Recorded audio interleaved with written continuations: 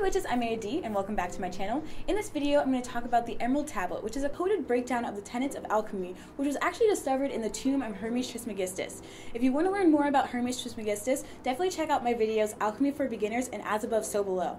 I'll also be working on more videos about the different lives of Hermes, but I still need so much more research on these, so please bear with me. I'm going to be reading from this book here, and it's actually a translation from various philosophers and occultists and people that were interested in learning more about alchemy. So they translated them, and we have a lot of translations in here, but I actually prefer the one by um, Sir Isaac Newton because I feel like it's probably the easiest translation to understand and decode. So I'm going to be reading from that for you guys, and then I'm going to decode it all for you. Tis true without lying, certain and most true. That which is below is like that which is above, and that which is above is like that which is below, to do the miracles of the one thing. And as all things have been and arose from the one by the meditation of one, so all things have their birth from this one thing by adaptation. The sun its father, the moon its mother. The wind hath carried it in its belly, the earth its nurse. The Father of all perfection in the whole world is here. Its force or power is entire if converted into the earth. Separate the earth from the fire, the subtle from the gross, sweetly and with great industry. It ascends from the earth to the heaven, and again it descends to the earth and receives the force of all things superior and inferior. By this means you shall have the glory of the whole world, and thereby all obscurity shall fly from you. Its force is above all force, for it vanquishes every subtle thing and penetrates every solid thing. So the world was created. From this are and do come admirable adaptations, whereof the means or process is here in this. Hence, I am called Hermes Trismegistus, having the three parts of the philosophy of the whole world. That which I have said of the operation of the sun is accomplished and ended.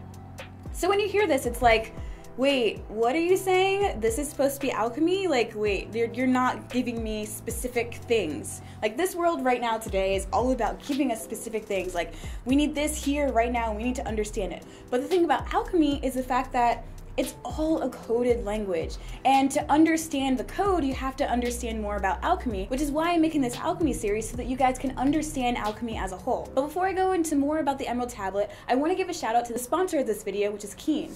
Keen is an app that provides access to vetted psychics and spiritual advisors who provide guidance and insight, and it's one of the most affordable ways to get instant psychic readings by a professional at any time. They have so many different types of readings, such as past love, relationship, live tarot readings, astrologers, Spanish psychic readings, and so much more. When you sign up, you'll complete a brief questionnaire, which will pair you with a list of recommended psychics. It's so insanely convenient. You can choose to either text, chat, email, or call your advisor. You can also have an ongoing relationship with your advisor for monthly intention setting, gaining clarity on significance of synchronicities, chakra cleansing, and so much more.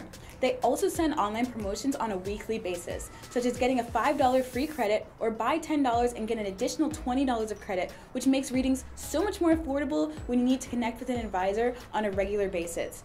It's so much better than seeing a psychic in person, which can cost a fortune. I'm one of those people who needs to know everything about everything, so this app is really, really good for someone just like understand your life and give you a little bit more insight on what you need. If you use my link trykeen.com slash eadigwitch, you get the first three minutes with your advisor for free. It's also linked in the description box below. Okay, so now back to the Emerald Tablet. So we're going to go to the first part. That which is above is like that which is below, and that which is below is like that which is above to do the miracles of the only one thing. So this is basically an explanation of humanity's connection to the cosmos. It's the above and below, which is the microcosm and the macrocosm, and how the cosmos is reflected in humans. I actually mentioned more about this in detail in my As Above So Below video, so definitely check out that video for more information on this. And as all things have been and arose from the one by meditation of the one, so all things have their birth from the one thing by adaptation. When it says from one thing by the meditation of one, it's basically referencing the law of one, which is the notion that everything came from one and everything is connected. It's the prima materia, which is the first matter in alchemy. The sun is its father, the moon is its mother.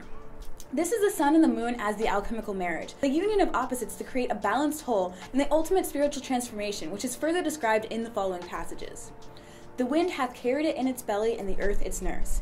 Part one of this is actually the process of separation and purification using the element of air, the rediscovery of our essence or our intuition. This is letting go of impure or unwanted material.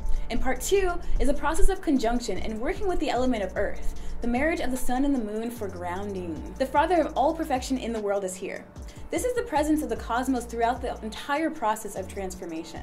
Its force or power is entire if it be converted into the earth. Again, the earth as a grounding element. Separate thou earth from the fire, the subtle from the gross, sweetly and with great industry, or ingenuity. This is the process of fermentation and leaving the earthly realm by the inspirational willpower of fire, which transforms and frees your soul of prejudice and vice, while separating the mind and the body. This process actually changes your characteristics and raises you to a whole new level of being, which is experienced during the two stages of fermentation, which are putrefaction and spiritization.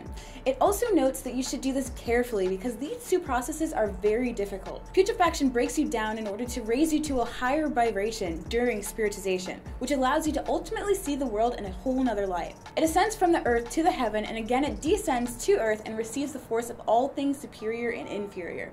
This notes the process of distillation, the sublimation of psychic forces necessary to ensure no impurities are incorporated into the final process. It releases volatile essences and can be done multiple times to perfect. By this means, you shall have the glory of the whole world, and thereby all obscurity shall fly from you.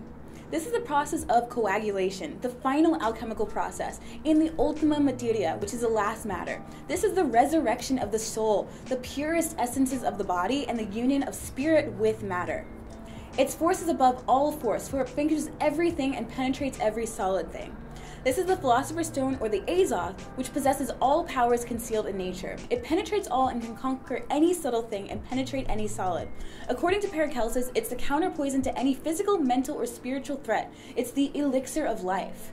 So the world was created, which is pretty self explanatory. From this, there are and do come admirable adaptations where the means or process is here in this. Again, this is why this happened. Hence, I am called Hermes Trismegistus, having the three parts philosophy of the whole world. Hermes Trismegistus means Hermes thrice great, and he embodies the three parts philosophies. Alchemists believe that human construction is threefold in nature, which consisted of sulfur, which represented the soul, mind, and fire, salt, which was the body and earth, and mercury, which represented the spirit, air, and water. That which I have said of the operations of the sun is accomplished and ended. According to Hermes, these are the operations of the sun god Ra. Hermes, who was also known as Thoth to the Egyptians, took part in the creation of the world as we know it and turned the thoughts of Ra into material objects. He was a scribe and a messenger of the gods and relayed divine messages to humans on earth. So that's all I have for you guys today. Let me know in the comments below if this helped you guys decode more of the alchemical mysteries of the Emerald Tablet. And remember to sign up for Keen because it's such an amazing app that can help you out in so many different ways. I'll see you guys next time.